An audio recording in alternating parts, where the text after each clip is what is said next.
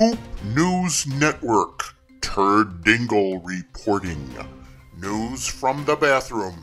Science shows that flushing the toilet with the lid open could be a shitty thing. Literally.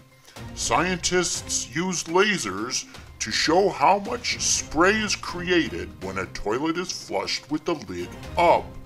And it's nasty. The spray can go as high as 5 feet the second after flushing. That spray can have leftover shit, piss, and other germs and viruses in it that can make you very sick. And the spray can stay in the air more than long enough for you to breathe that crap in. Not to mention that it can stick to any towels or toothbrushes near the toilet and even stay on surfaces like the sink. Flushing with the lid down can reduce the spray by up to 60%.